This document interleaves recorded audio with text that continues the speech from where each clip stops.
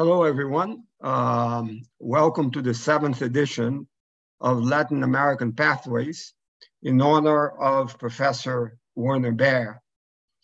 Werner Baer was the George Lemann Professor of Economics at the University of Illinois and Urbana-Champaign. He wrote the book, The Brazilian Economy, Its Growth and Development, as well as several other books and academic articles on Latin American economies. Professor Baer taught at uh, Yale University from 61 to 65, University of Vanderbilt from 65 to 74, and the University of Illinois from 74 until his passing in 2016. He encouraged many researchers to study Latin American economies and advised numerous students from the US, Latin America, and Europe. Werner Baer was born in Offenbach, Germany, he received his uh, bachelor's degree from CUNY Queens College in 1953 and a master's and PhD from Harvard University in 55 and 1958, respectively. We all are very honored to be here uh, in this uh, event um, in honor of Professor Baer, as we all uh, at one point studied or worked in uh, University of Illinois. It's a pleasure to um, introduce the um, participants and the speakers at this uh, event now. We're going to start with a keynote speaker, uh, Dr. Alexandre Tombini from also got his PhD from the University of Illinois.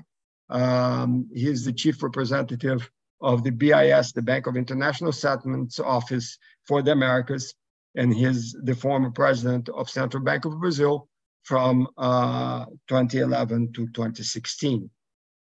Um, I myself am Dan Biller. I'm doing the introduction, and after the next panelists, I will uh, pass the baton to Dr. Eduardo Gozal, who was also at the University of Illinois for his master's and did his PhD in the New School of Economic Research. After the presentation of Dr. Tombini, we'll have the perspectives from the US with John Welch. Uh, he is a research for emerging markets uh, incorporated professor at the University of Mackenzie, uh, the IPEA fellow, and RIEM. And we'll have the perspectives from Argentina with Dr. Diego Petrecolla, uh, who is an IIEP researcher and a professor at the University of, um, of Buenos Aires. This event is done in partnership between Aqua Wealth Management, uh, Crummer Business School, uh, Graduate Business School uh, at Rollins College, the Centro de Liberdade Econômica of University of Mackenzie, and the IIEP at University of Buenos Aires. Uh, I would like also to complete this introduction with a short disclaimer from the FGV, uh, who is also a partner in this event, Fundação Getúlio Vargas. I want to clarify that the opinions expressed in this event are the responsibility of each of the speakers and do not necessarily represent the opinion of Fundação Getúlio Vargas. In addition, the speakers in this event agreed to participate of their own free will and consent to be recorded in this broadcast, which will be posted later on FGV official channels. So without further ado, let me pass the baton to Dr. Alexandre Tombini. Uh, Alexandre, the floor is yours. Well, thank you very much, Dan. Uh, let me at the outset thank Eduardo Gozal and Paulo Tenani for this invitation. Very happy to be here. And I also have to do my own disclaimer, and the views expressed here are my own, not necessarily those of the Bank for International Settlements, the institution that I represent. So uh, thank you. Uh, well, let me just greet my fellow panelists as well, Diego, uh, John. Uh, it's good to see you uh, in good health uh, these days. But thank you very much for inviting me to, to talk here in Latin American Pathways. in tribute to Professor Werner Baer. I have uh, been part of other uh, events in, in, his memory, but this is a special one with so many fellow uh, colleagues from University of Illinois. The, the passion of Professor Baer in his studies on inflation, growth, and development in Latin America, and particularly in Brazil, is admirable. His contributions have not aged and uh, are more relevant today than ever. It's an honor for me and a privilege uh, to be able to share perspective, my perspective on uh, what we have learned and uh, what we are now, where we are now, and what challenges and opportunities our region will face in the future. So the question that was posed to me was one of are inflation, I should say, high inflation and low growth inevitable in Latin America? My short answer to this is I don't think so. I have to admit that the list of challenges is long, uh, but there are no grounds, in my view, for fatalism in our region. Over the past three decades, Latin American countries have built up strong macro financial frameworks. Between the turn of the millennium and last year, inflation in most countries of the region was lower and more stable than any time in the 20th century, despite large shocks. And I should say, in the last quarter of the last century, uh, that was the case. Uh, financial crises, a perennial feature of the past, have been notably absent in our region. I think this track record shows that good policies can and do make a difference. Today, the challenge is to build up on, the, on those achievements, get inflation back to target, and embark on a trajectory of high and sustainable growth. Macroeconomic and financial stability are necessary conditions for this, but they are not enough. We also need structural policy to make our economies more competitive and dynamic, social policies to make growth inclusive, and environmental policies to make development sustainable. What are the lessons that we have learned uh, from decades past? I think in most Latin America, the 20th century was marked by massive swings in economic activity, high inflation, and financial instability.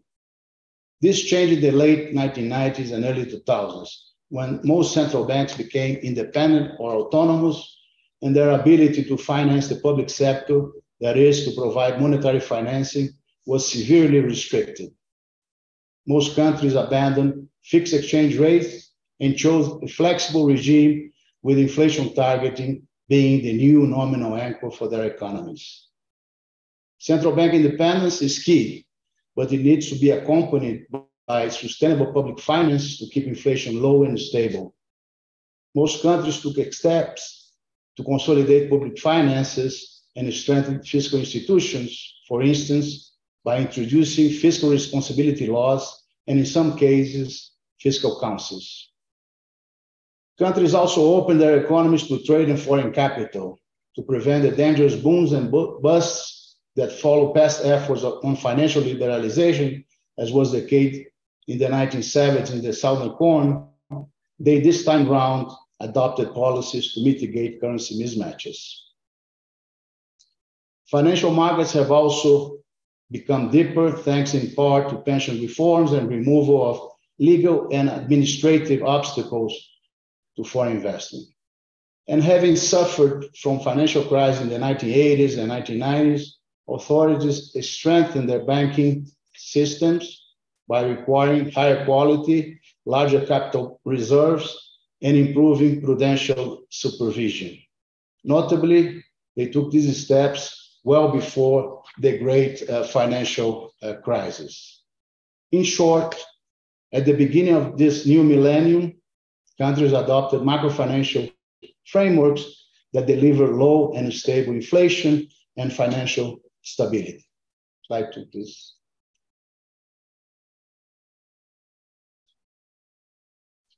So I will show you here in, in this uh, second slide of my presentation, this, this new fr frameworks were successful.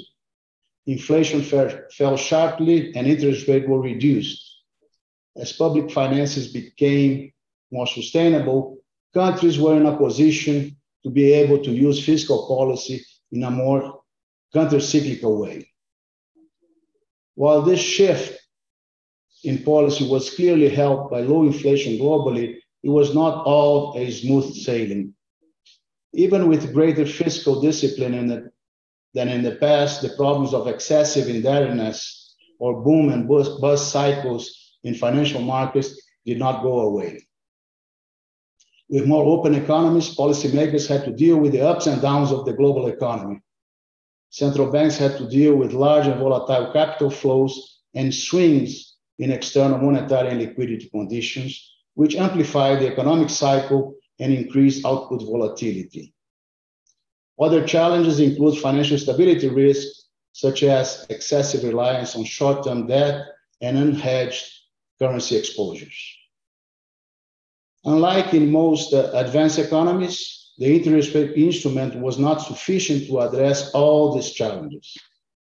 In a world of, uh, with large fluctuations in capital flows and international asset prices, the sole use of monetary policy instrument may pose two dilemmas.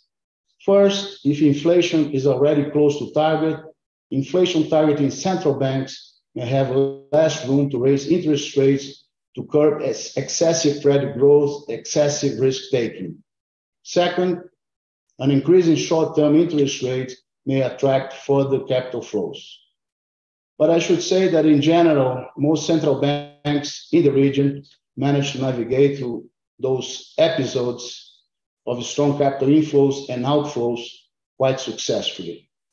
It is no co- coincidence that most Latin American economies did not experience any major crisis when the GFC hit in 2008 eh, or even during the taper tantrum in 2013. And why is that? I think an important reason is the use of multiple instruments, the buildup of buffers, and the inclusion of financial stability considerations in the work of central banking. Indeed, central banks in the region highlighted the use of several instruments in a survey and a report coordinated by the BIS and published in our website in 2021. In fact, the central banks of Latin America have made use of not only the policy interest rate, but also of macroprudential tools and foreign exchange interventions. Importantly, they have done so not only during recessions or periods of financial stress, but also during booms.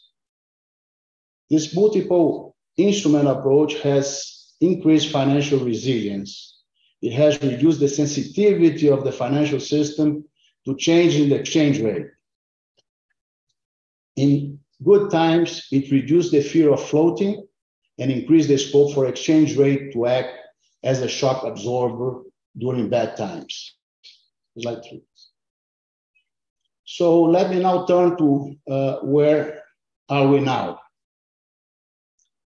Despite these uh, successes, we now face new challenges arising from a unique set of events.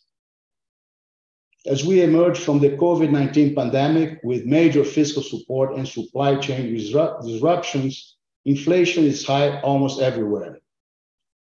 Growth is declining, and central banks around the globe are hiking rates. The war in Ukraine further complicates an already difficult situation. As you know, commodity price surged in the first half of this year, although they have mostly returned to the levels prevailing before the invasion. As you can see in this slide, inflation has gone up in 2022. It has peaked in a few economies in the region, but remains at very high levels virtually everywhere. In quite a number of countries, the increase in, inflation would have been larger had fiscal measures not constrained the energy and food price increases. On the positive side, and you see here in the right-hand side panel, uh, long-term inflation expectations, which is the uh, red dot, it's, it's around the, the levels uh, of central banks' objectives. So I should say that inflation expectations over the long term have remained remarkably uh, well anchored, while uh, in the short and medium term to 2022 and 2023, they have been, and they are right now, the expectations above uh, the inflation targets. Moreover, a sharp increase in inflation, in particular in salient prices like food, affects people in Latin America even more than those in advanced economies. In Latin America, an increase in inflation fueled by food prices usually translate into an increase in poverty. There are at least three reasons for that. Let me show you here in slide four. First, a, a large share of the population has precarious personal finances and spend most of their income on essential items.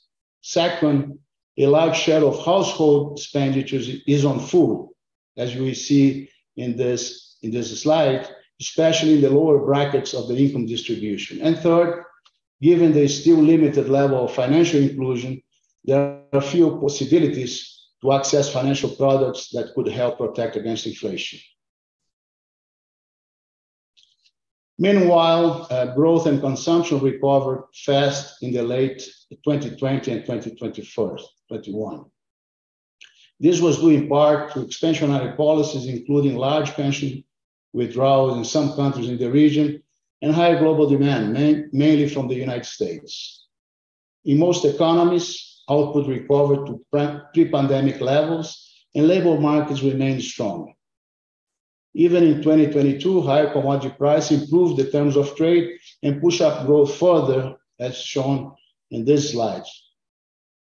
For 2023, however, analysts expect a clear deceleration with the possibility of some economies even facing mild recession, as you see in this slide.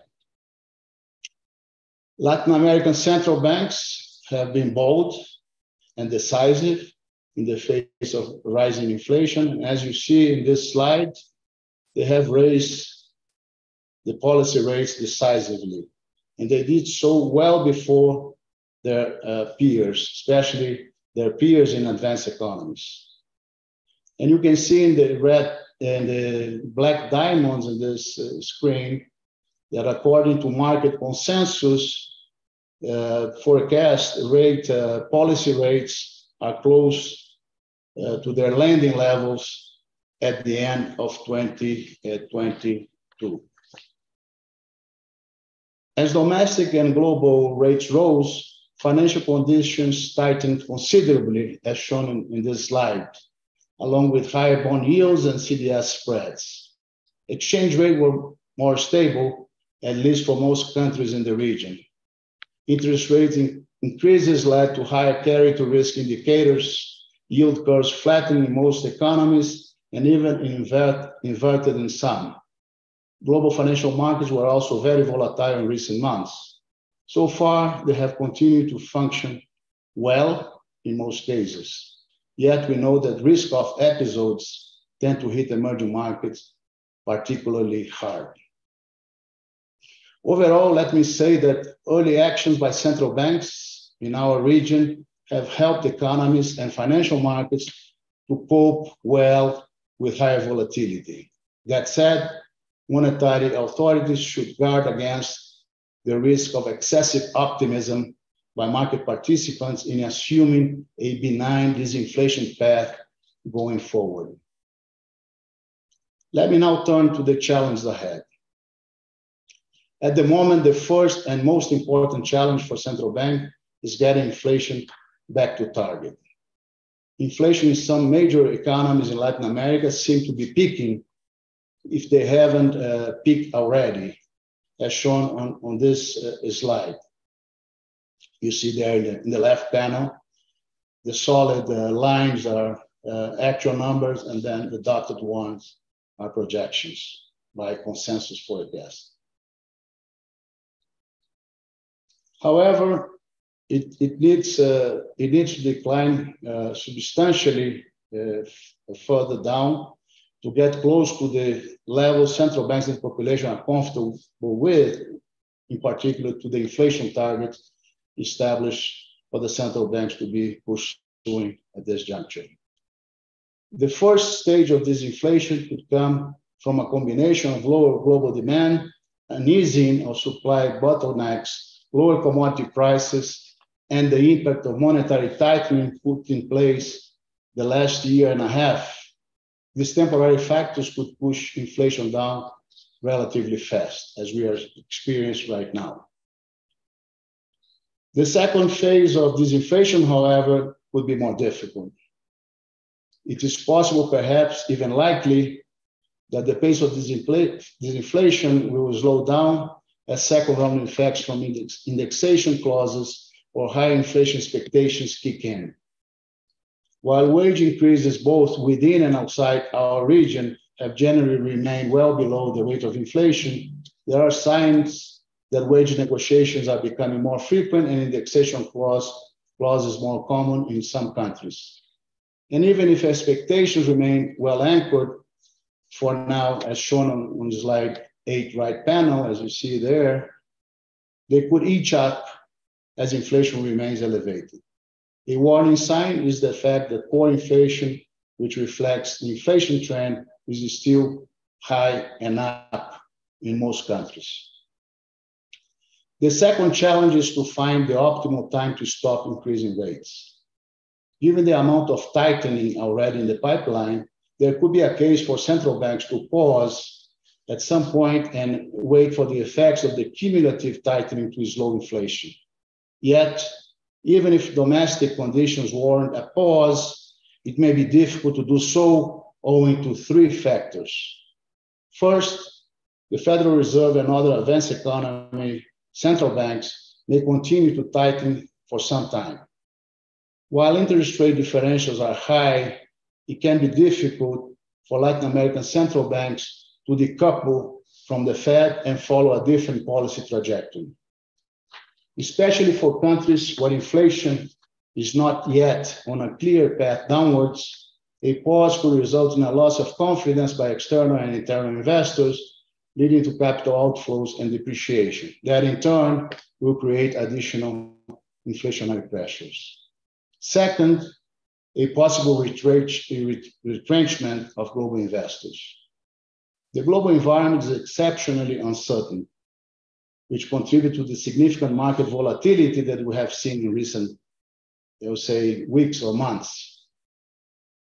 Core markets, such as the U.S. Treasury market, have become less liquid, and shifting to other markets is no solution since they are even less liquid. And Third, uncertainty about fiscal policy and other policies may force central banks to keep rates higher than would otherwise be optimal given the domestic uh, conditions. So while uh, financial conditions in the in, in, the, in the region have already tightened, we could see even more spillovers from higher global interest rates. Moreover, this would happen even if the tightening in advanced economies is well telegraphed, well communicated to the markets, as it has been the case in recent episodes. The third challenge is low growth, both cyclically and structurally. First, the post-pandemic rebound is predictably running out of steam, setting the scene for more normal rates of expansion. Second, financial conditions are much tighter in the wake of monetary policy tightening inside and outside the region. And Third, and from a more structural perspective, there is less external stimulus given the lower global growth, mainly uh, from China. Also, accumulated savings during the pandemic, which had supported private consumption in the recovery, are exhausted in some economies, and also due to pension withdrawals in some countries in our region. Uh, fifth and last, uh, I would say political risk in the region is likely to remain high. And as you can see in this slide, long-term growth expectations for the region have fallen substantially in the wake of the pandemic, and even more so since 2014 when such data uh, became available.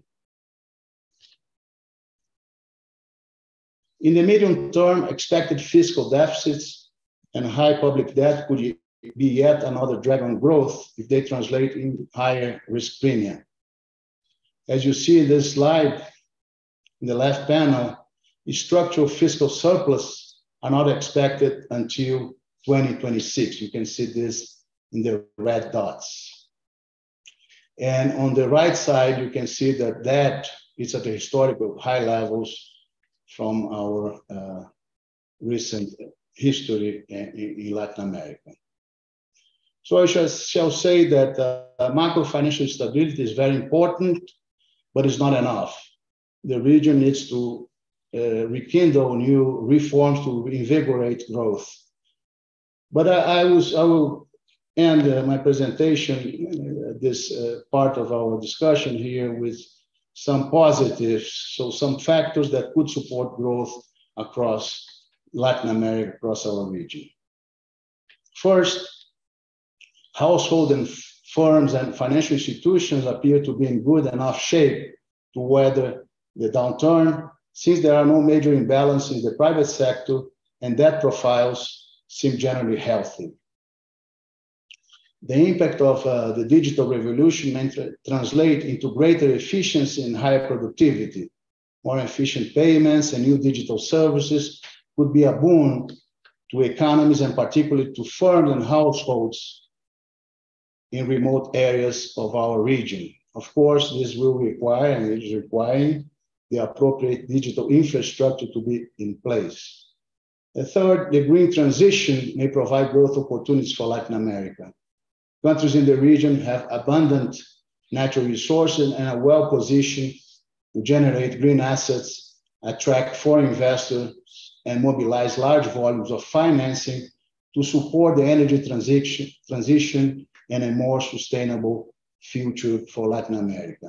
Last, countries in Latin America can also benefit from geopolitical developments that we are witnessing in our world uh, through the so-called nearshoring or friendshoring that could bring to the region, not only to North America and Central America, but also to South America, could bring investment to boost uh, production and exports to regions like the United States and Europe. So before I end my presentation, I would like to leave with you five takeaways.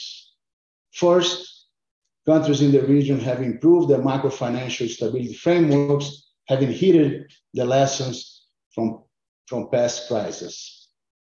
Second, they have adapted frameworks to current challenges and used them well, including during and after the pandemic. This has anchored in investors' expectations and confidence and leaves them better equipped to deal with the current episode of inflation. Third, central banks in Latin America have acted earlier than advanced economy central banks in the fight to bring inflation back to target. Fourth, fiscal policies have benefited from strong institutions and rules, but consolidation should not be put in doubt going forward. Fifth and finally, ensuring macro financial stability is not enough, as I mentioned before. It is essential for greater long-term growth, but needed to be coupled with growth enhancing structural reforms to grasp the opportunities going forward. I stop here and thank again uh, the organizer of this gathering for having me here today. So I stay ready for the questions. Thank you. Thank you very much, Dr. Tombini, for the excellent presentation. We will continue now with uh, Dr. Welch and Dr. Petrecolla, and then the Dr. Goldzal will take questions uh, from the audience uh, and pass it on to the speakers. Thank you again. Well, thank you, Dr. Biller. Uh, Dr. Alexandre, Alexandre, thank you. That was a great presentation, a great overview and hopefully what uh, I will be doing is um, complementing, complementing that. First, I wanted to thank the Fundação Getúlio Vargas, Paulo Tenani, and all the professors that invited me to take part in this webinar. Uh, I would also like to especially thank the uh, Institute for uh, Economic Liberty at Mackenzie, at Centro uh, Mackenzie de Liberdade Econômica, uh, as which is also sponsored. Now I'm a member of. So thank you uh, all for that. Um, in um, I'd also like to thank Werner Baer. Uh, we were all students of his. Uh, I was very blessed to be his student, and I wouldn't have met all of everybody else if I hadn't been a, a student of his. And so, all the people on this call, I know people in the audience, you all were fantastic colleagues and uh, continue to be so, as, as noted by certainly by um, Alexandre's uh, talk. Um, let me now move on to talk about the United States, and I, am going to uh, compare it to one of the countries that Alexandre looked at is Brazil. And uh, you can see, my, I can give you just a very quick conclusion, and that is um, uh, that Latin America has now become a model for the United States, not the other way around. Uh, so uh, here are some of the conclusions that I come to, and we'll talk about them in detail. And I, I have put slides in on Brazil, uh, only Brazil, because you could see in Alexandre's talk that you know Brazil is really sort of one of the better uh, macro policy countries over this whole time. And back when people were discussing what kind of letter we'd have a recovery, anyone that's lived through an external shock in the United States, 2008 was not an external shock. It was an internal shock. It was an external shock to Brazil. But you know, you get a V. It's arithmetic. You know, if it drops 50% and rises 50%, you still are only halfway back to where you were before. Uh, and so I didn't think there was much of a debate on that, but it was a sort of an amazing thing to me. And then if you, at some point, you overshoot and you get an upside down V. So I think some of the arguments for US recession, or at least us United States being in a recession right now, are a little bit precipitous. That doesn't mean I don't think we're going to have one, but it does mean that we're not in one right now. Uh, the US government and the Federal Reserve increased demand stimulus th- through fiscal support, increased monetary growth extraordinarily. And in fact, our fiscal, uh, we've never seen fiscal uh, looseness like this in the history of the United States. Even during World War II, there was one year, a couple years that it was that way, but we haven't, we adjusted very quickly. And you'll see that in some of the graphs that I show. And we did a number of things that Brazil did also created credit facilities for small and uh, medium sized companies, gave support to workers, gave income en- enhancements to the unemployed. Uh, and in fact, the measure that last time I saw, I think Brazil was the number one emerging market country in terms of creating these, these policies and giving help. And also, the World Bank came out with something with this rather interesting thing about the drop in absolute poverty. That doesn't mean people aren't suffering still, they are. But uh, it is sort of uh, remarkable what uh, what the Brazilian government and, and the Brazilian people have done. Certainly, um, even in the face of this robust recovery, the U.S. government continuing continued increasing fiscal and monetary surplus. This is the mistake. This is the this is a parallel with some policy mistakes that were made in Latin America, specifically in Brazil when they were coming out of the shock of 2008. The recovery was well on, and they added a lot of stimulus to uh, what was already a good recovery. Uh, so U.S. deficits are slowly shrinking, but you're going to be shocked by the graph that I'm going to put up here. Those of you who have dealt with Latin American countries and have dealt with countries that have had some fiscal problems over the years. Um, to me, we saw Dr. Tombini showed uh, financial conditions indexes, you know, saying that the United States has tightened, but in January 2020, uh, our financial conditions were quite loose. So uh, you know they went, they got much looser and then came back. And I would just say that in my view, and I'll try to show that, is that the U.S. Fed has not really tightened, especially real interest rates have gone nowhere. Uh, and certainly monetary based growth has, but uh, it's just a little le- less loose than it was before. And so there's not a lot of resistance on inflation. Uh, we did get an inflation number this morning. It was surprised to the downside. Uh, now we're at 7.7 year on year. But if we all made it to graduate school in this group right after the right during the the the sort of adjustment that we had uh, uh, during uh, after when Volcker came in and after the 1970s. So a lot of our focus in our macro classes and so forth was on what happened in the United States. And you'll you'll see we saw that very clearly. We had different episodes where we had a decline in uh, current inflation, and then you saw a relaxation of, of policy, and it came right back up again. But even still, we have larger fiscal deficits as a percent of GDP and looser monetary policy than we had in the 1970s. So I'm not particularly happy about the situation, especially being a former Federal Reserve uh, employee. As I said, I don't think the United States is in recession, but the necessary monetary tightening that's coming will probably put the economy into one, especially uh, they're still they're at a fast pace, but probably not fast enough to avoid uh, uh, continued inflationary pressure. So let's look at what happened to growth. And I have here back to the 1970s, and I didn't finish the subheading because I just want to see how this thing ends, because I actually think it was probably worse. I wrote something back in June of 2021 saying that we haven't seen anything quite like this uh, in the United States. Back then, fiscal policy was loose because of the Vietnam War and because of the Great Society programs, but they weren't this loose. Well, let's see, this was that little mathematical quip that I was talking about why we were going to get a V. It's not a forecast, it was just arithmetic, right? So uh, you can see you, you, drop 40%, you go back 40%, and, and, you're only back in terms of levels uh, to um, half the, a little over, a little less than half the way back. So uh, you can see that you were going to get a V no matter what. And this is many times termed something I ter- we termed uh, my co-authors and I as the rubber band effect. Uh, the harder you pull down on a rubber band, the faster it snaps back. Doesn't mean that the fundamentals are taking you there. The fundamentals come later, but certainly expecting a, a fast recovery right away. The other thing is when you, you stop walking, you're not going, your velocity is zero, and then you accelerate to going to something positive. Your accelerate rate of acceleration is very, very high. So, uh, not really a forecast, just some arithmetic. So let's look at what happened here in the United States. Here's real GDP through the third quarter.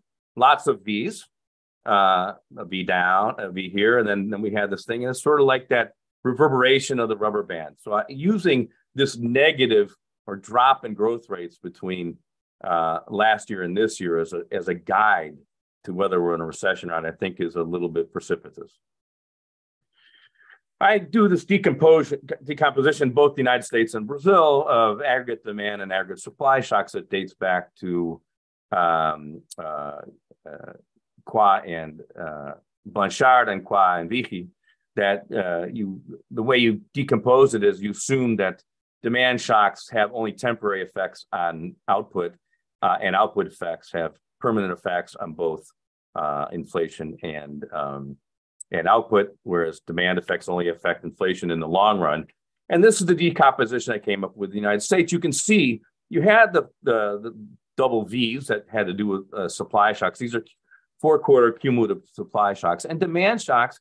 Well, we're now at the other side on negative supply shocks. But you know, with all of the stimulus, we're, we're still having, and these are compounded over time because these are the the shocks of that, but these are shocks. These are not uh, levels of demand, you can see that we've never sort of gone negative on the demand shock. So saying the United States is tight uh, in macro policy is kind of tough looking at this graph.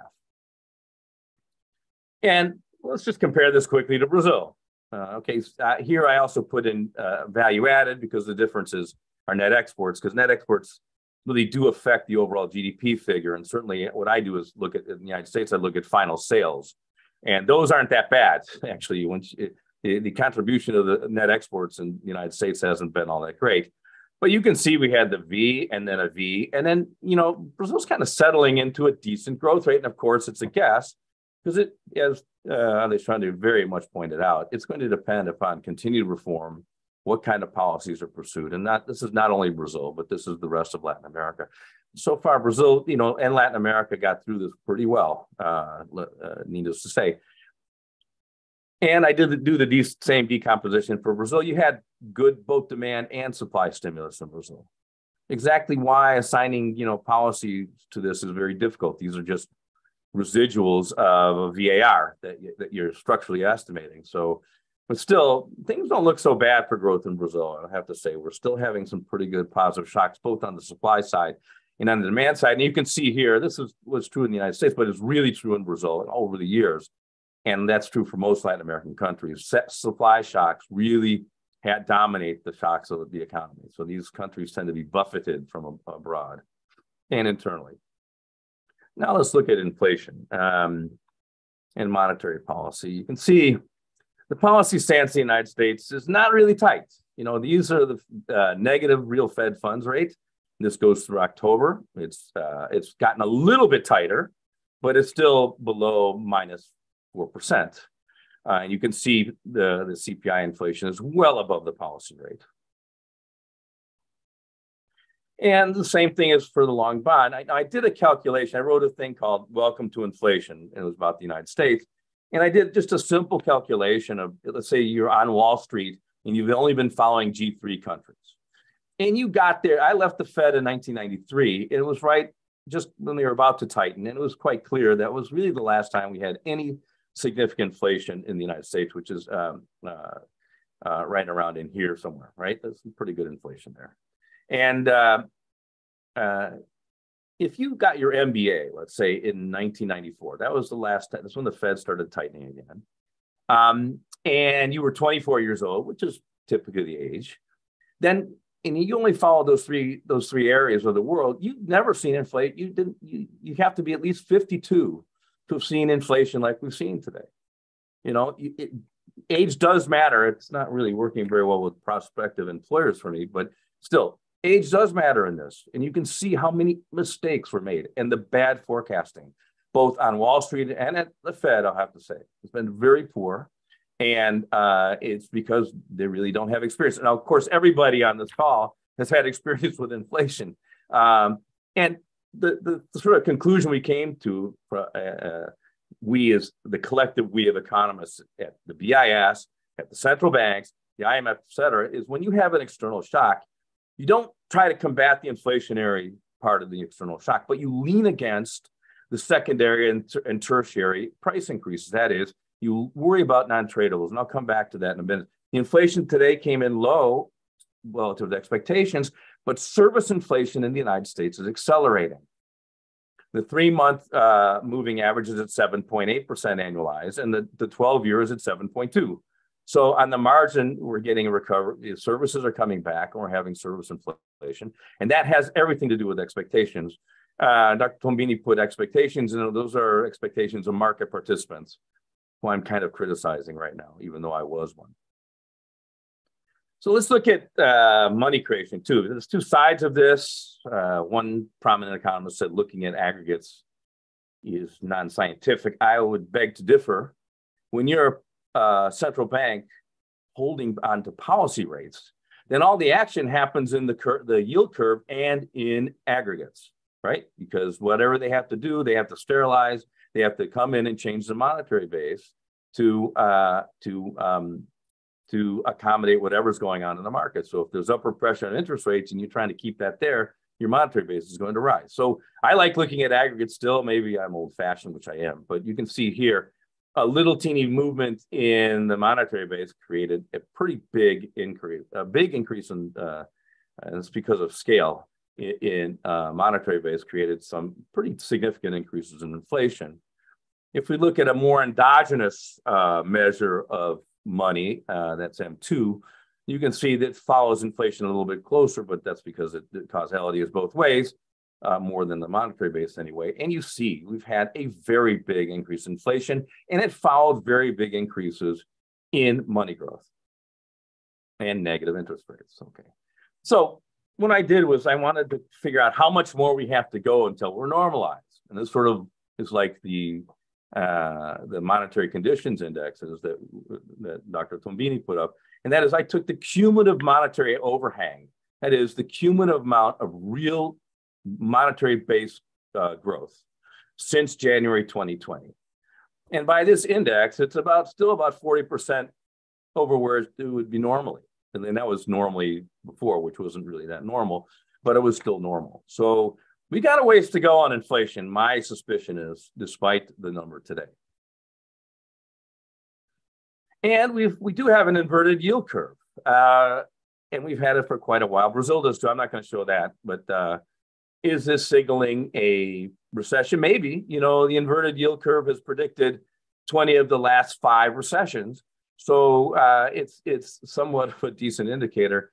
I don't think we're there yet. Now, if the Fed tightens the way I think they should, and it's still not in the curve. Uh, we still have the 10 year bond at four. The two year is much higher. You can see uh, the, the spread between the 10 and twos is not quite as is higher still than the, the fives, but still 10 and fives. You can see that uh, I don't think the level of interest rates yet, policy rates in the United States, is high enough to, and I'm not going to tell you, I have a secret number that I keep to myself. And as Dr. Yancey used to say, you know, God only knows the parameters, but he's not telling. So we have to estimate that. But I do think uh, they still have some more tightening, and the market is not completely discounting that. And we've seen it in the market. We've seen, you know, these up and down waves. We're having a huge rally today because of uh, the lower than expected inf- inflation rate. But uh, you know, we've had this. Well, now maybe the Fed will stop, and now maybe, and we have this rally, and then suddenly inflation comes in, the Fed doesn't stop, and we get to sell off. So I think we got a couple more of these waves uh, to go. The other thing that was very good about this, uh, and that's really made me optimistic about sustained recovery in the United States. And again, we can make a parallel with Brazil. Is we had a gigantic deleveraging after the 2008 crisis. And then never, we had a little bit of recovery before COVID, a little bit more deleveraging there. We never had, and certainly Dr. Tombini knows all about this because he was the main guy that kept Brazil unlevered and really helped Brazil get through the 2008 and this crisis as well with a very strong banking system. The banking system in the United States is not levered right now. So you don't have these uh, deleveraging, you know, collapses in markets real estate's going to be affected, but it's going to be more like the, you know, gold. You know, a couple rich people lose some money, but you don't have banks being threatened by the drop in prices because they won't be able to call their loans, et cetera. So this has uh, left me optimistic about growth in Brazil, not so much on inflation in the United States, not so much on inflation, but optimistic about growth because the banking system is in good shape, unlevered, capitalized, and that's exactly what Brazil did ahead of the 2008 crisis. And that is why Brazil was able to get through it relatively in good shape. And velocity follows that. So we're not getting that acceleration in velocity that uh, uh, that many feared in terms of inflation. But it's the question is is when will it go up? And you know it's uh, and it's only so far down that velocity will fall. So really, what we're seeing is any increase in credit, any increase in money, et cetera, has purely and simply been uh, financed by the Fed. And really not much velocity change, not much change in, in money multipliers. And so the Fed is now even more crucial than it was before. And flooding the market with too much money or lower than uh, we would say equilibrium interest rates is not a good thing. And I went back and did some VARs to see what the outside lag is. That is how much time it takes for monetary policy to affect uh, output and inflation. And I got 13 to 15 months. It doesn't matter if it's on real interest rates or using money, it's the same. So I argued back in Janu- uh, January if they uh, started tightening really fast, not creating any more monetary base, selling some of the Fed's asset, reducing balance sheet, and increasing the Fed funds rate, we would have only seen a decline in inf- a real decline in inflation to 2023. And I'm not sure it's really begun yet. Was oil the culprit of the higher inflation rate? No. We look at the relative price of oil. It was higher eh, in 2007, 2008, before the financial crisis. It was certainly higher in the 1970s after the formation of OPEC. Uh, and then the uh, attack, the Iran uh, Iran Iraq war, which affected Brazil rather, rather significantly. So we're really not, it's really hard to blame this on oil prices. It looks like a relative price increase based upon scarcity. It is a supply shock, but it's a relatively not important one compared to other supply shocks, I'd say. Let's look at Brazil. Let's see what Brazil's stance is. And Dr. Tombini showed pretty much that that, uh, that it's tight. We got inflation, 6.47% year on year, down from over 12. That's headline. The core rate, I don't like trimmed mean, even though my former uh, employer uses it, the Dallas Fed. The reason I don't is that one of our professors, one of our wonderful professors at Illinois, Roger Koenker, said, why would you throw out information? Uh, you know, he was talking about basically successive regression, iterative regressions. But why? There's information there. So each month you have a different set of prices in the trimmed mean. I don't particularly like it. I like looking at other things, but uh, the inflation rates are coming down, any measure you have. And here's where I really like to look is non-tradables and uh, services. At first, non-tradables did not move as fast as tradables, but everything's coming down as well. And this is a very good indicator. Uh, a former colleague of mine, Marcela Meireles, who was at the Kansas City Fed and now is at TCW, wrote a paper at the Kansas City Fed using Brazil as an example, saying that the best measure of core would be non-tradables. And it's a really nice paper if any of you want to read it. Uh, uh, and I sort of, I, I thought it was genius because it, it fit right in with my priors, which is always the case. If someone agrees with my priors, then I think they're geniuses. Uh, and some of them are on this panel. But uh, that's inflation is coming down very nicely in Brazil. And maybe they're a little bit too tight. They are tight for sure. I do this range of Taylor rules. You know, the top assumes that the equilibrium rate is real rate is 10% and the bottom is 2%. And we're at the top of this range right now. So I think, you know, the market is now discounting a big, there's a big uh, inversion of the yield curve, a big drop in rates. But I have to say it has not threatened Brazil's growth at all. And so I have to give kudos to the Brazilian central banks uh, on this, on this, on their, their set of policies. And that's true for a long time now. And, and our esteemed uh, keynote speaker had a lot to do with the credibility that the central bank has over his tenure there. And you can see monetary base growth is negative, credit growth is completely stagnant. So uh, somehow non-directed credit is this white line. It's sort of this, it's going up, whereas directed credit is going down. I don't know how I didn't fix that, but sorry about that. I didn't mean it for it to be invisible. But the private sector credit creation is growing robustly, and it's being, you know, it's basically having some crowding in because of the decline in credit from Banco Brazil and BNDES uh, and the Caixa Econômica. And it, you're having, I have other graphs to show that you're having a pretty good investment boom that has taken over for this uh, and the private sector. And then if we look at policy rates, you know, backward looking, forward looking, whatever, policy rates are high in Brazil. They're very, very high in terms of real conditions. Now, let's move to fiscal policy. And this is the one that's most disturbing for the United States. Um, yeah, I'm almost done. and that is this is a, the projections from the OMB about the United States primary and nominal balances. And they just assume that they can run primary deficits forever. That is a very disturbing conclusion because that means the only reason that the US has been able to do this because of this. They've been able to counteract any deficits, especially after World War II, with surpluses. It, because right now we have interest rates, real interest rates, less than uh, than um, than uh, uh, real growth. Then then they think they can do that. But that's not a normal condition. It's not Pareto optimal. It's not the way you can run a policy to bet that real interest rates are going to be less than growth. It's it's it's not something you're going to get, especially as we age. So you can see here the real Fed's funds rate minus the real GDP growth rate is negative, but this is not a normal condition and it's not going to stay there forever. The only way it stays there forever is the old acceleration hypothesis that inflation will have to accelerate. And if we look at the 10-year treasury, it's the same thing.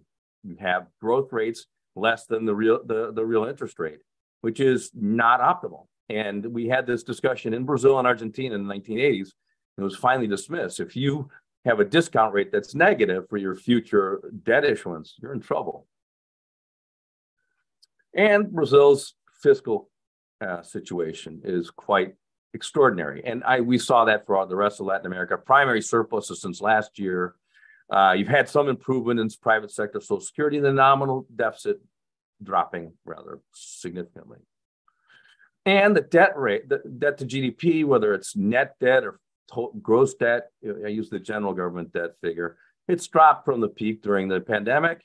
And it's where we are right now is pretty stable. And those are my guesses as well.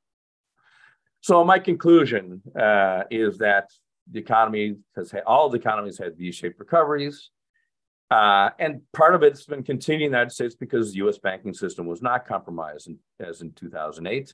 And I think that's more uh, that than policies adding fiscal stimulus uh, accommodated by very loose monetary policy and already strong recovery has led to the highest inflation in 40 years. No recession now, but the Fed needs to tighten a lot more and fast. A hard monetary break certainly can cause a recession next year in 2024. but the Biden administration shows no sign of taking undertaking fiscal adjustment. Brazil is better on this one, probably for the first time, certainly in my uh, history. And just one final comment about Werner, and I'll stop there, um, Eduardo. And uh, is that Werner always accommodated everybody's arguments. And he always had to say, well, what about this? What about this? And always led to thinking and more discussion. And I think we need, as everybody in the United States, everywhere, needs to take a, an example of Werner Baer. He was able to educate, he was able to guide, and he really was an extraordinary blessing to all of his students. Thank you very much.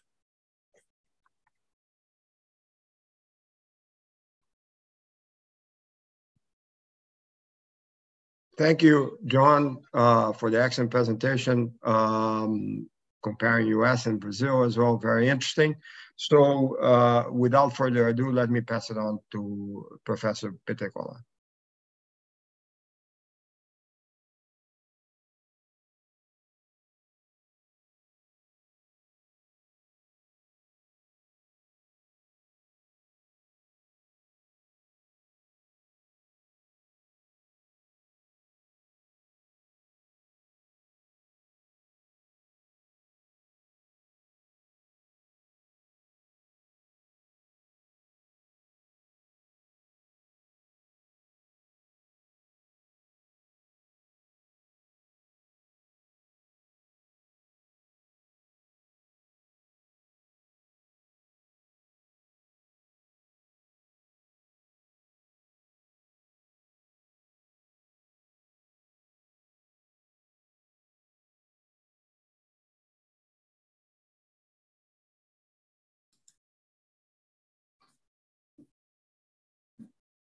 I think you're on mute.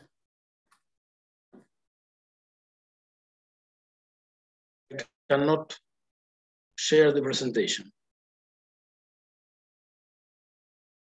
Can you see the presentation? Yes. Excellent. Well, sorry about that. First of all, let me say thank you to the organizers I would also presentation mode, Diego. In presentation mode. The big pantalla. Yeah. One second, please. Uh, little screen at the top on the right. No, no, I know, I, I know, I know. It's just I don't know why it's not working. Can you look at it? It seems that you are at the end uh, of the presentation. Um, okay, okay, yeah, okay, okay. Yeah, go back. Yeah. Yes. No, no, it's coming. Okay, something. Yeah. Okay, good. I would say you were very quick. Yes.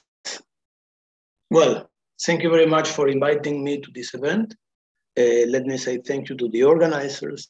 Let me say thank you to the, the el Instituto Interdisciplinario de Economía Política from the University of Buenos Aires where I'm, I am a researcher, and this is, is one of the organizers of this event. And let me say thank you to Werner Baer. Uh, uh, I wouldn't be here if it weren't from him. Let me show you some data on Argentina. Uh, you probably realize that when Alexandre was showing his data, when the, the variable the, the variable inflation was not analyzed uh, during his presentation because Argentina is, uh, is the bad guy regarding inflation in the region. And let me try to understand why. And so my presentation will be uh, regarding inflation and growth in Argentina in the last 50 years. So we can do together a long run analysis. Over there, you have the rate of inflation in Argentina in the last 10 years, from 2012 till today. Please realize that, uh, note that in 2020, in 2012, inflation rate was on average 20% annually. If you look at the series, you will see that inflation has been growing steadily since 2012. And the discussion now in Argentina is whether it will reach 100% this year or not. But we are talking about an inflation rate that this year will be between 90 or 100%. If you look at the low part of the, of the, of the presentation, you will see uh, different scenarios regarding inflation rate monthly in Argentina in the next, in the next few months. Last month, inflation was 6%. This month, inflation is expected to be 6.8%. So we are approaching the 7% per month scenario from today till the end of the year, and, that and that will leave us in a 100% inflation at the end of the year. If it is not 100, it will be 95 or 98. Anyway, it's a very bad performance. So as you see, inflation rate has been growing steadily during the last 10 years in Argentina. And we are having a discussion which is very similar to the discussion we used to have in the 80s, uh, uh, a decade where that was, uh, uh, there, that was known for very low growth in Argentina and very high, high inflation, and that ended up in, in hyperinflation. And, and please note the difference between the forecasts in Argentina hmm, regarding inflation for next years and the forecast regarding inflation in the rest of the region. Why am I saying this? Because we have a very high inflation inertia, but we still have tariffs that are frozen, public services tariffs that are frozen. Official exchange rate is almost frozen, and real salaries are very low. So looking ahead, it's very difficult to expect a, a, a lower inflation than the one we have uh, this year and the ones that we were having the last years. Let me show you what happened with GDP per capita in Argentina compared to the rest of the world in the last 50 years. In the presentation, you have the average of the world in the last 50 years, and the average was 1.4% annually from 1970 to 2019. You look at Chile, the average in the last 50 years was 2.3% per year on average. If you look at Brazil, the average was 1.7% per year during the last 50 years. If you look at Argentina, the average was 0.2% per year. So we had almost no growth in GDP per capita in the last 50 years. So first relationship, high inflation rates and very or almost no growth in GDP per capita during the last 50 years in Argentina. So it seems that we have lost 50 years and these figures are showing that. Compare the performance of Argentina with Korea, for instance, or with Ireland, or with the United States, or with Spain, or with France. In any case, any comparison you do, Argentina is below almost anyone. And in the region is one of the lowest, or probably the lowest, uh, the lowest performance. So there is a relationship between high inflation or persistent high inflation and uh, low growth. Let's see again at GDP per capita during the last 50 years, and you can see that at the end of the pandemic, hmm, that was in 2020, we were at the same level of GDP per capita that we were in 1972 or 1973. So again, what you can see is that during 50 years, Argentina had no growth, almost no growth in GDP per capita. But this is not due to the pandemic. Hmm? This is a long run problem. And this problem has, uh, has, get, has gotten worse during the last 10 years. So the last 10 years, uh, you can see from 2010 uh, and until today, the, the fall in GDP per capita is very significant. From 2012 to 2019, the GDP per capita uh, went down by 11%. And even though we had a recovery after the pandemic, it's still uh, uh, very low compared to what we had in 2010. Over there you have what would have happened to GDP per capita in Argentina if Argentina would have grown the last 10 years as it was growing before, between 2002 and 2012. So it would have continued growing at a rate of 2.3% annually, GDP in Argentina uh, uh, uh, uh, will be the highest, uh, in, in 2020 will be the highest of the series. This is exactly what did, did not happen since uh, the last 10 years, or for the last 10 years. And that is directly related to the performance of high inflation in Argentina during the last 10 years.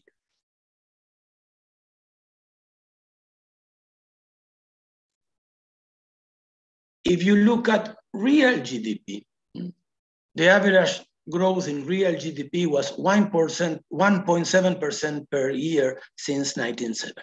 So there you have GDP series, real GDP series since 1970 in Argentina. And you can see what happened during the 80s. As I was telling you, the 80s were show 16 years with, with almost no growth in GDP.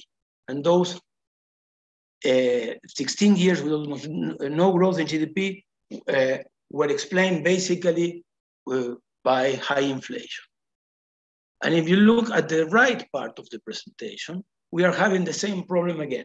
We have almost no, no growth during the last 11 years, and during the last 11 years, we have been experiencing, experiencing uh, a systematic increase in inflation.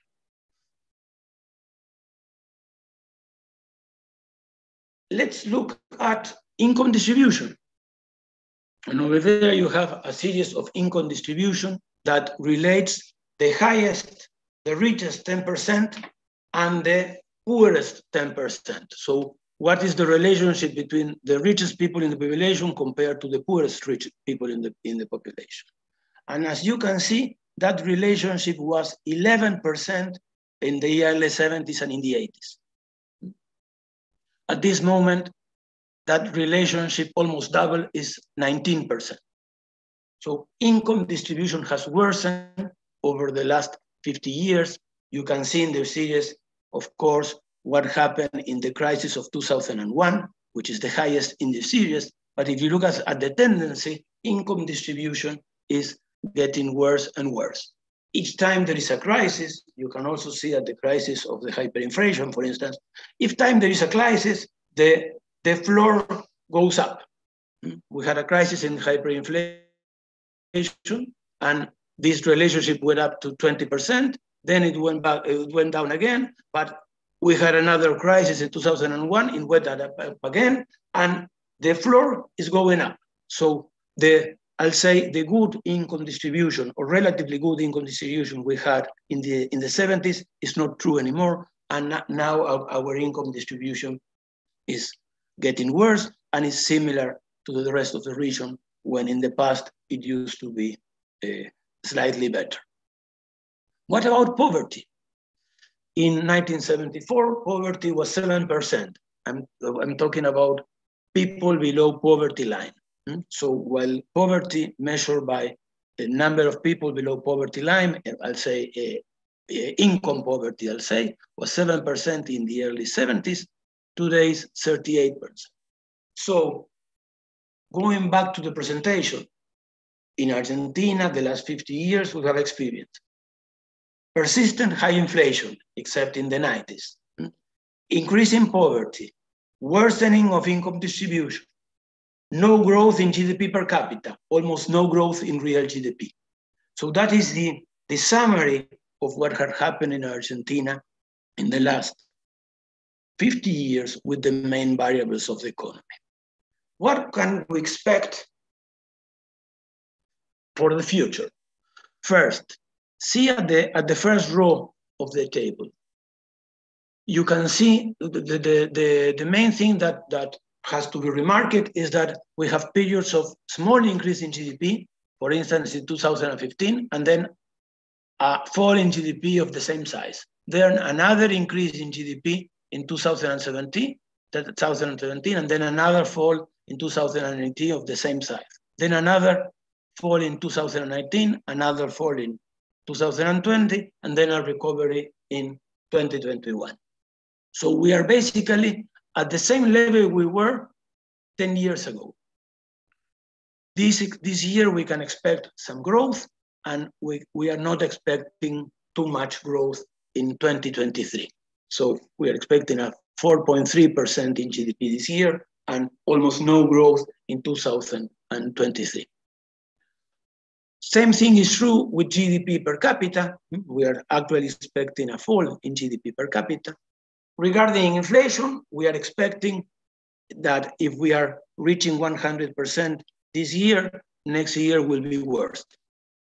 Uh, an optimistic uh, an optimistic view says that inflation next year will be 110% per year.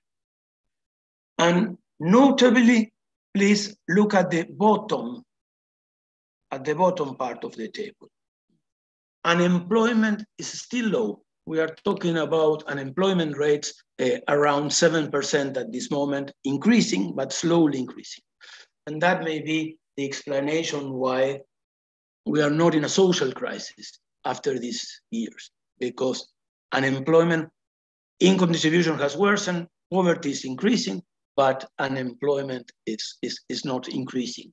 And that may be the, probably the only explanation why we are not having a social crisis after uh, the behavior of this variable.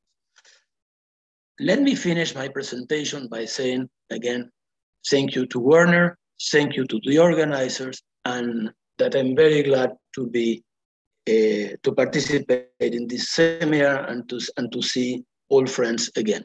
I remain uh, in order to answer questions if there are some. Thank you very much. Thank you, Vic Diego, very much for an excellent presentation about the economy in Argentina. I think this is something that uh, can be used by all of us with our students. Um, before passing the floor to uh, Dr. Godzal, who is going to close the, um, the event with your questions, I would like to thank uh, Alexandre Tombini, uh, John Welch, and Diego Petrecolla for the excellent presentations and the participation. I also would like to thank Professor Paulo Sergio Tenani for taking the leadership in so many Latin American uh, pathways and in honor of, uh, of our uh, professor that we all miss, Werner Baer. Uh, Eduardo, why don't I pass the ball to you then? Thanks. Thanks, Dan. Well, thank you all for excellent presentations. I have a few questions coming from uh, the participants, from the attendees. And the first one is addressed to Dr. Tombini. And the question reads the following. Is the independence of central banks a norm in Latin America or there are exceptions?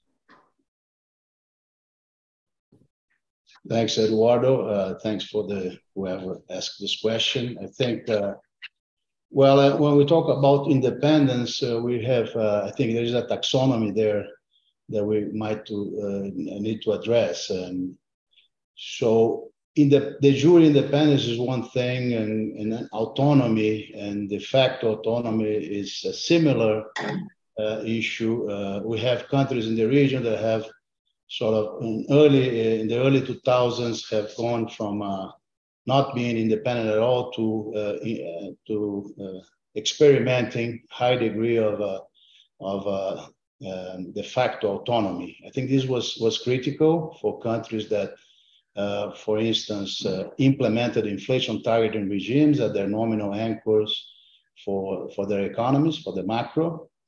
in a sense that somebody else, like the government or a, a governance within the government, will fix, will determine the uh, objective, and the central bank will have the autonomy to pursue this objective using uh, monetary policy instruments. Uh, so if we uh, sort of assess independence or autonomy this way, I would say that most uh, the countries that have had successful macroeconomic management over the last 20, 20 years or so have enjoyed high degrees of, of autonomy, as has been the case of my own, own country. So I think independence is very important, and we have seen the results. Uh, much lower and much more stable inflation than compared to, say, the last quarter of the previous century, where we have a number of uh, uh, episodes of very high inflation, hyperinflation. We also have a sequence of financial crises that uh, degenerate into full-fledged uh, economic and social crisis. We haven't seen this since the beginning of this uh, century, of this millennium, I should say. And a lot has to do with central banks having the ability to manage their, their own instruments in an autonomous, independent way. Of course, uh, central bank independence is not a panacea. It has to be accompanied by other, other policies, chiefly fiscal policy. I think we have to have in place a fiscal policy that delivers uh, fiscal sustainability over time.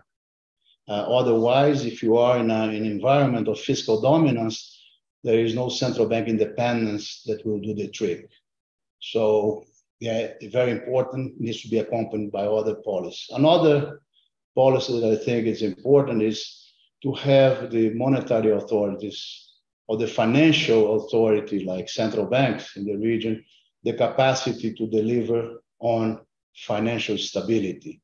Okay, uh, we have seen in the past, and I was referring to the last quarter of the previous century, many uh, financial crises that had a huge economic and social dislocation in, in, in Latin America. This time around, I mean, the last 20 years, we haven't seen, even during large shocks as we had during the great financial crisis 2008 the taper tantrum, and more recently, the COVID shock, we haven't seen a full-fledged financial crisis in any of the countries in Latin America. This has to do with this capacity uh, of, uh, of, of countries or central banks to strengthen uh, prudential policies, to build up buffers, and to use uh, a wider set of policy instruments to deal, on the one hand, with the macroeconomic stability, on the other, with financial stability because there is no macro stability if you have a full-fledged uh, financial crisis. And I think lots of people sort of criticize the idea of independence because you have unelected officials sort of controlling a very important part of the macroeconomic policy making. I think this argument is very superficial. I don't agree with it. Uh, this uh, sort of the uh, unelected technocrats that compose uh, most of the central bank bodies, they have been uh, designated by elected officials following rules that are set, defined by parliaments, which are by definition elected individuals there that uh, uh, define the rules. So I think if you have a, a, a framework with central bank autonomy to uh, pursue uh, its uh, objectives, chiefly macroeconomic stability, inflation on target, and also deliver on, on financial stability. This together with fiscal policy that is sensible, that delivers sort of debt sustainability over time, then I think you do the trick. Uh, there are other policies, and I'm not going to go into this, uh, just to respond to to the question of the participant. I think it's, it's very crucial, uh, central bank autonomy or independence, but it has to be accompanied by other policies.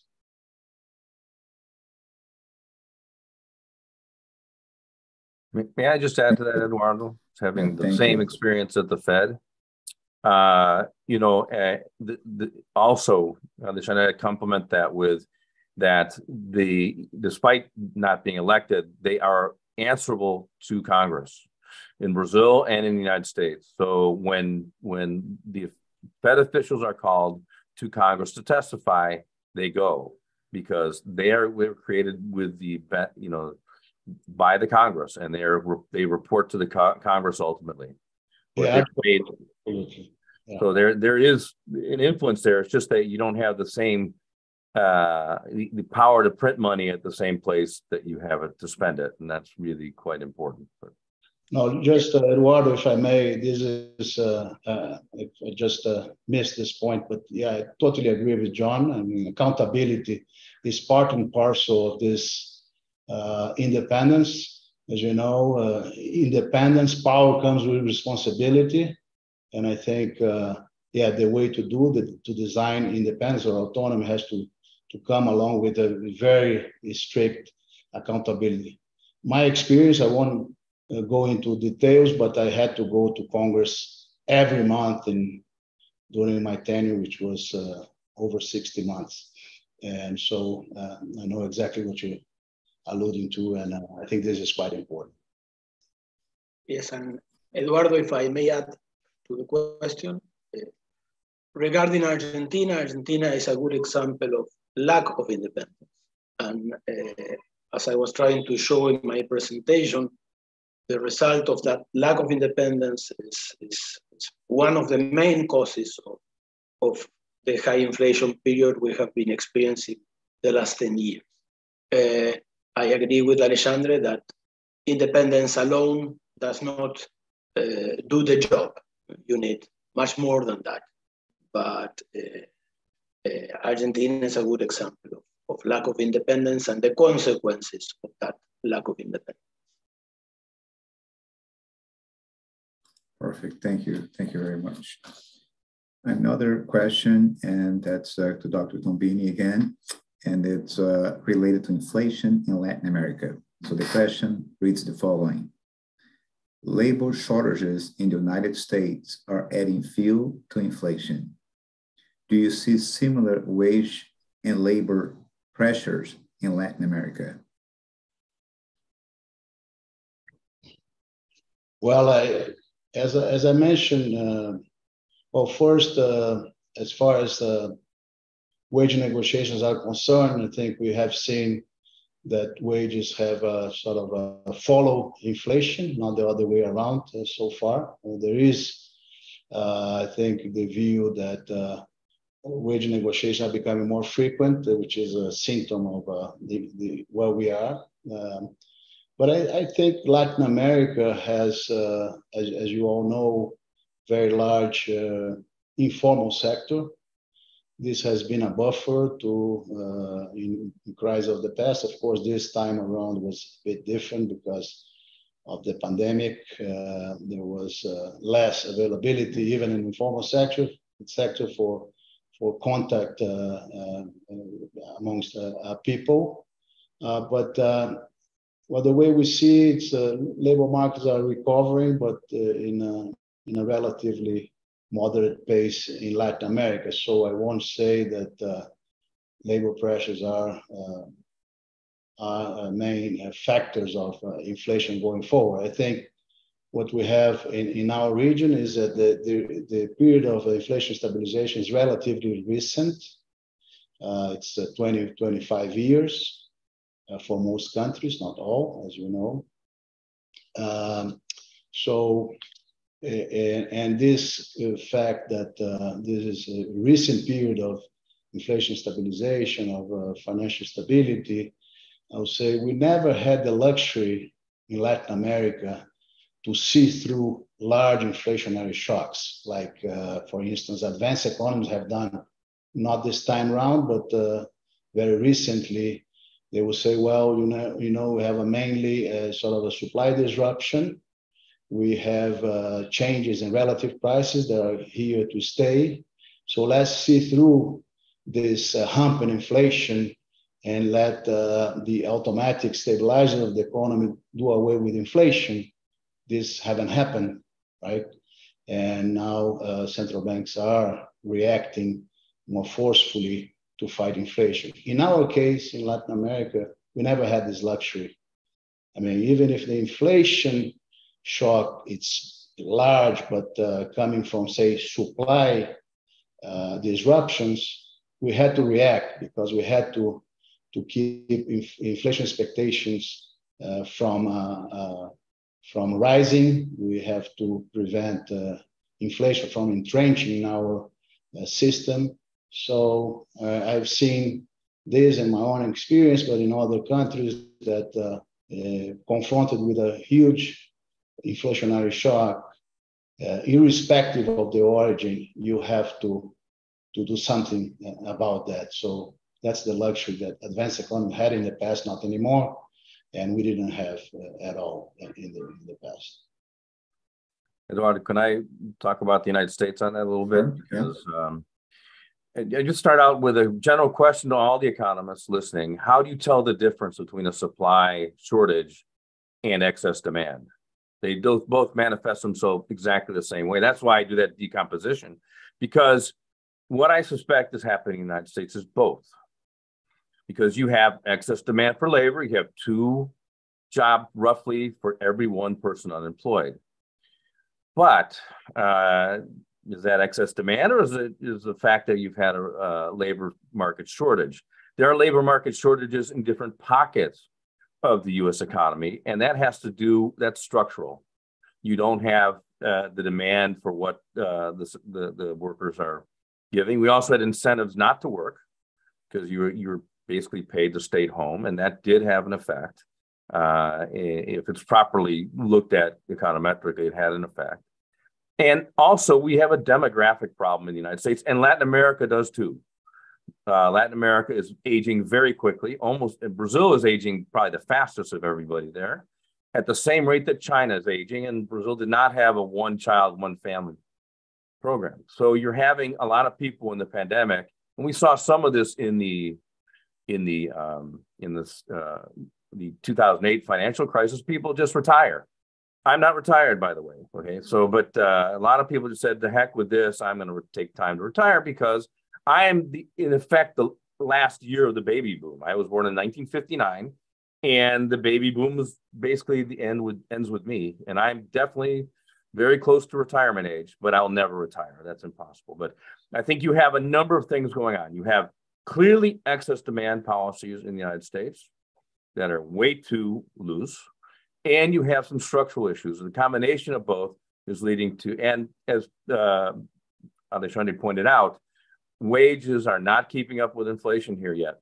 And that's not leading to um, uh, a catch up, at least on, on, the employment front. Certainly, our unemployment rate is very low measured, but uh, also is our participation rate. So uh, we have a lot of things going on at the same time. So we both have supply problems and demand, and some of the supply problems are starting to go away.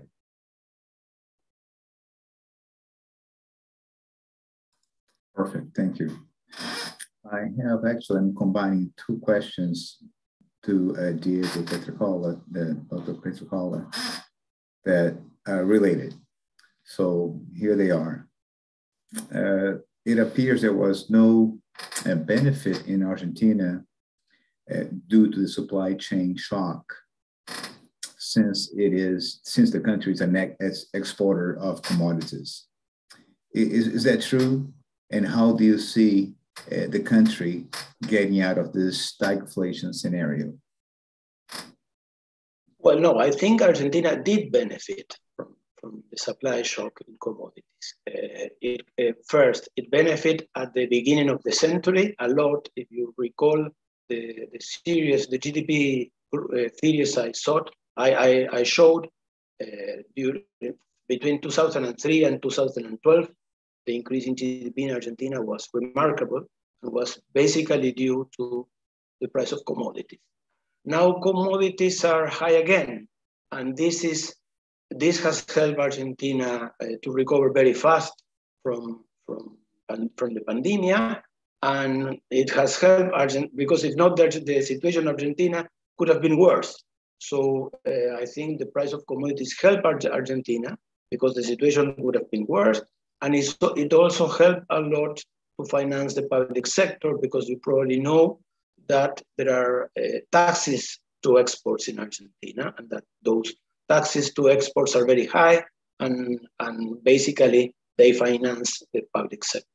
So uh, I think that without the increase in price of commodities, the Argentina situation would have been worse.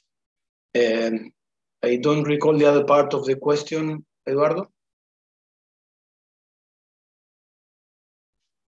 Sorry.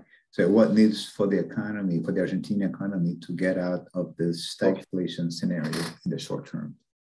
Yes, well, that's, uh, I, I, Alexandre pointed out in this, this out in his presentation. Uh, what you need is what the rest of Latin America also need, but in the case of Argentina, this is more important. We basically need a consistent macroeconomic policy, which is something we, has, we, we, we haven't had in the last 20 years. So uh, since, since the crisis of 2001, we were very lucky because prices of commodity went up, but uh, we never had a consistent macroeconomic policy. So we need a consistent macroeconomic policy, uh, uh, and we need to, to, to, to, we need to, to do structural reforms that we, we started in the early 90s, but we never finished. And basically, and most of them uh, uh, U-shape in the sense that they went back. For instance, we privatized uh, almost all uh, state enterprises in the early 90s, and now we, we again have uh, a lot of state enterprises with huge deficits. Uh, so it's that like we have to start from scratch, but we, are, we have to start from scratch in a worse situation that we were in the, in the early 90s because uh, poverty is higher, income distribution is worse, and as I show in the presentation, GDP per capita almost did not grow. So we are in a worse situation than we were in the early 90s. So in that sense, I am not very optimistic. Thank you. So I, I have a technical question for, for John or for Dr. Welch. It is probably from a, an economist or a student in economics. It's uh, based on your uh, M2 velocity forecast. Two years from now, where would you see inflation and interest rates prior to the presidential election in the United States? Oh, he's going to pin me down to a number. Okay. Um, uh, I expect inflation to stay roughly at the current levels if they don't do something. So the presidential election is going to be in 24. Uh, and I expect the Fed to tighten rather significantly into next year. A little late. I don't think this recent respite from inflation is going to change their view at all. So I suspect we're going to have very low growth, if not a recession, going into 24. And unfortunately, they probably, with the credibility they enjoyed before, which doesn't now, would have been able to get a lower inflation rate without having that recession. But I do expect inflation will get down to four and a half, five by the end of 24. But I think we're going to see some very low growth rates, if not negative, for the year uh, 2024 and going into 23. Perfect. Thank you. Another question for Dr. Tombini.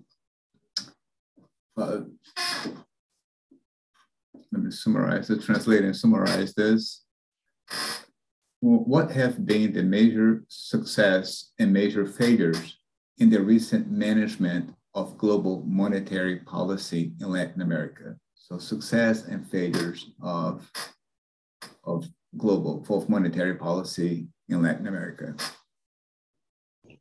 Well, I think uh, as, as I tried to convey during the presentation, um, we have seen quite a successful response uh, from central banks and I say from countries in Latin America in the last 20 years. This time round with the pandemic shock wasn't wasn't different. Uh, of course, we, uh, uh, as I mentioned, and we know inflation is high in some countries coming down. We still have uh, work to do there. Uh, but we haven't seen, uh, of course, in, in, Latin America compared to advanced economies, there was an early reaction to this inflation surge. countries start tightening policies in early 2021, much earlier than than other jurisdictions. We haven't seen any financial uh, shocks to the system, uh, systemic shocks, I should say. Uh, so this is uh, another uh, important feature of this this time. We well, I think to to be more balanced, there was a, a, a, assessment in the, especially in 2021. I mean, many, if not all, uh, underestimate the speed of the recovery, the kind of uh, stimulus that were put forward, both in the monetary but also in the fiscal side. So there was uncertainty, of course, as we know, we remember there were sort of uh, waves of COVID. Uh, when we thought we were out of the woods, we were not anymore. So it was back and forth. But then with the rollout of vaccinations, uh, and things are starting to, to open up, especially in the Western uh, part of the world. I mean, we have seen with the, with the uh, with the stimulus plus uh, with the vaccination rollout, we, we, saw a much stronger rebound of the economy that uh, initially envisaged, right? There was also uh, uncertainty regarding the extent and the depth of uh, the supply disruption, the global value chains that was, were being disrupted uh, by the uh, response to the pandemic. So it lasted longer so as you remember, there was a debate whether this was a transitory or uh, sort of a relative price shock or was more permanent. I think this debate was put behind uh, in late uh, late last year. But I think the important thing here is that central banks are focused on the on the mission, right? And, uh, I mean, some some central banks, uh, well, Latin America, of course, they started earlier. Uh, interest rate differential with uh, advanced economies is large, adjusted by risk. Of course, it's narrowing, but it's large. Um, yeah, but there was this uh, this debate of whether which has been rested as of now, and um, and we see if today you ask central banks, and I think some have been have been very explicit to say that what's the major risk that we confront today? Is it doing too little or doing too much? And I think the prevailing uh, answer to that is, is doing too little. Okay, so we are in the process. We are in, and uh, countries are tightening uh, policies, uh, and I think that's that's the most important uh, thing um, that that we have right now. Latin America did earlier; it's ahead of the, the pack, and this has been important to understand why capital flows have been relatively muted it's true that in the last three years, not much came in because of the pandemic and other things, but we have seen very muted uh, capital outflows, maybe some outflows in the bond market, some inflows in the equity market. So it is stable for our, our standards, right?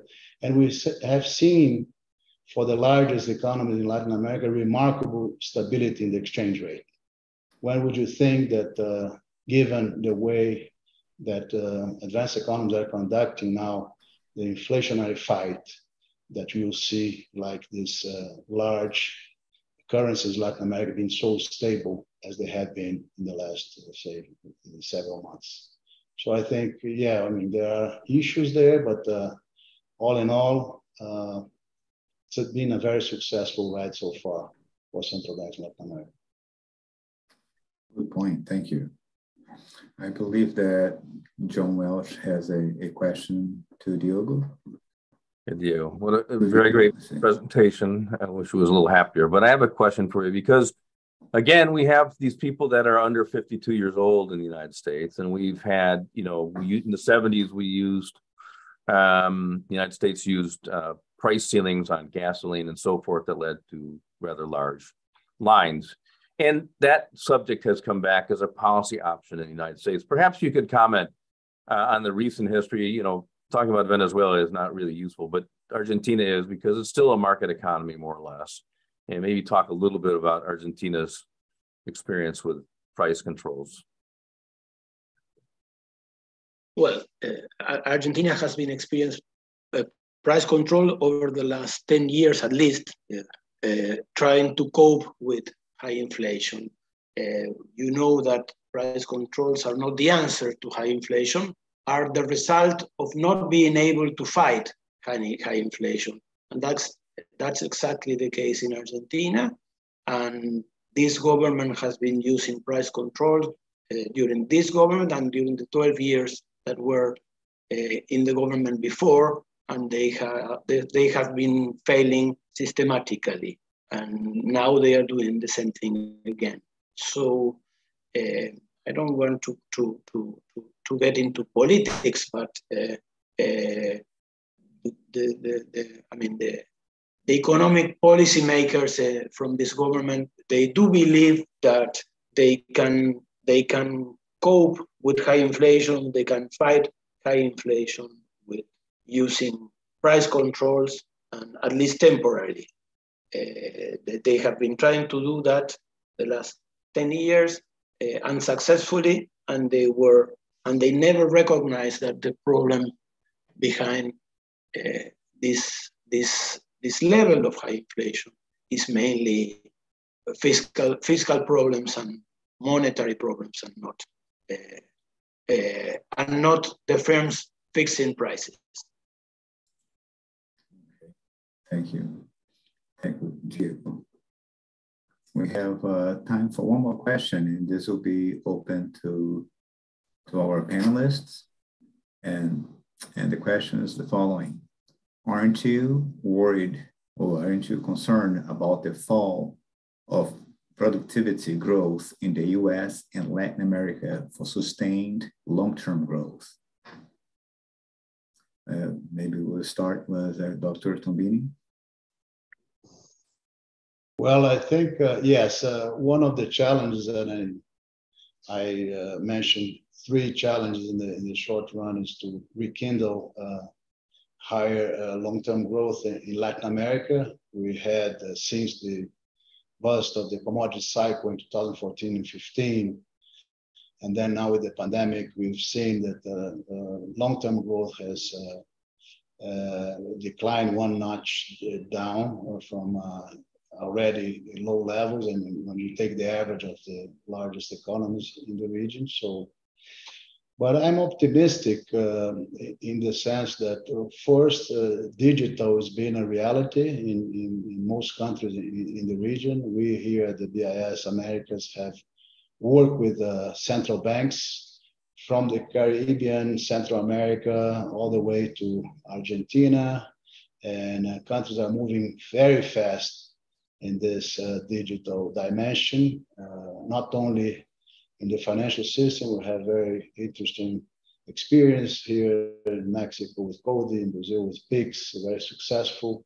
So this uh, digital innovation in our countries can uh, so support productivity growth going forward, and I'm optimistic about that. Of course, we need the, the right infrastructure, or we need the right policies for this to, to come to, to fruition. Uh, the other thing that I mentioned is that uh, since uh, most of the countries in this region have uh, natural resource in abundance, I mean, this is the, the best position region in the world to generate a pipeline of uh, sort of uh, green projects that could amass large amounts of, of external financing. There is money, there is the will, there is of course, you have to have uh, right policy. you have to have the right risk for investment investments from other parts of the world to to flow into to be funneled to uh, to Latin America, and, and, so this is this is a, a very important uh, uh, development that the region can take advantage. And last but not least, of course, uh, we have uh, geopolitical developments which are challenging to say the least. Uh, but in this respect, also uh, Latin America, uh, it's aware of, of, most of those, most countries. So I think they can benefit over the medium term of this nearshoring tendency that we have, we have seen to sort of to access market, affluent markets like the United States and uh, Europe. Uh, so all in all, I think there are fields here should uh, be exploited by, by the region to increase uh, long-term uh, growth going forward. But of course, you need the right policy, you need macroeconomic is, is stability is a necessary financial stability necessary condition. But uh, yeah, I'm optimistic in this sense. Thank you. Yeah. Diego, please. Yes. Well, in the case of Argentina, I am optimistic if we stabilize the economy and if we make structural reforms. I mean, uh, if we don't do that first, I'm not very optimistic because investments are not coming. Uh, and that will be will, will make productivity growth very difficult. But I agree with Alexandre that Latin America and Argentina is, is part of Latin America, and Argentina has natural resources, energy resources, and human resources, and, and, uh, uh, and in, in, in those sectors, uh, uh minery too, in mining too, and in all, in all those sectors, the, the, potential the potential growth is is very high. But in, as I was saying, given that we stabilize the economy and we make the necessary structural reforms. If not, uh, I'm not I'm not I'm not optimistic. And I have if I have to look back, uh, I have to be pessimistic, but I'll try to be optimistic. Yeah, good answer. I like that too. And John, I think you have the um, final word. Let me just focus on two things for productivity growth. Uh, and they, I think they both, it applies to Latin America, especially Brazil and Argentina, uh, and the United States. First, trade policy. Uh, trade policy is crucial. Uh, the United States over the last couple of years has become uh, increasingly protectionist. Uh, that has not changed with the change of administration at all. In fact, it's gotten even more protectionist on that front. Uh, and that and Brazil is continues to be one of the closed economies, closed most closed economies of the world. The countries in Latin America that have opened to trade have done better, especially Chile, Colombia, and Peru. Why? Not only just the gains from trade, et cetera, uh, the idea that maybe imports are good, not bad, but also the transfer of technology is also quite important. The second thing, and this goes to uh, many of the things that Diego said and also uh, uh, is that the best measure of productivity is per capita GDP. We have all these different things, but per capita GDP, everyone says that you know Japan has been such a disaster, but their per capita GDP growth has been above the United States for the last 40 years. So I don't see how that can be it. It's just that they had a denominator shrinking as opposed to growing. Uh, and uh, a lot of this has to do with the creation of jobs that are productive, and that not, doesn't mean necessarily corporations. I remember in 1985 when I was doing my dissertation in Brazil, the labor reform that finally was passed under President Temer was already in Congress. It took that long for Brazilians to be able to open up their own company without having to be completely constrained by the labor courts. And oddly enough, not oddly enough, Brazil is the champion now in startup creation worldwide. And it's extraordinary how much this has happened. Brazil has so much talent that was being hindered by the fact, uh, you know, you make a startup and you next thing you're being sued by a former uh, employee. Allowing as much as possible within, within you know, uh, property limits, the growth in companies, growth in uh, uh, innovation, et cetera. And the two complement each other quite a bit. And I think you know, I would explain some of the slowdown in U.S. productivity growth due to the sort of slant towards protectionism. And you know, certainly that's been off and on in the case in Argentina as well. So trade and labor, they really, you need more deregulation in those two areas. Thank you very much. Well, thank you very much. I would like to say uh, a big thank you. If, if the, the speakers, uh, if you don't have any more comments, uh, anyone? If not, I'd like to thank you. Eduardo, yes, I, just to, to thank you again and thank uh, thank uh, Paulo Tenani, my, my fellow panelists here with Dan moderating. Just wanted to say that it's a, it's a privilege to be part of this uh, tribute to this quintessential Latin American scholar, which was Werner Baer, and a Brazilianist uh, um, from the heart. And uh, so I'm very happy to be part of this. Thanks again for, for having me here. Thank you. Well, thank you all. uh, without any further comments, I'd like to pass the word to FGV. Uh, it's a more be a more technical issue here. Uh, thanks for FGV again to, to sponsor the event, the seventh edition, and uh, we all can uh, log out now. Thank you so much. Thank you all. Great to see you.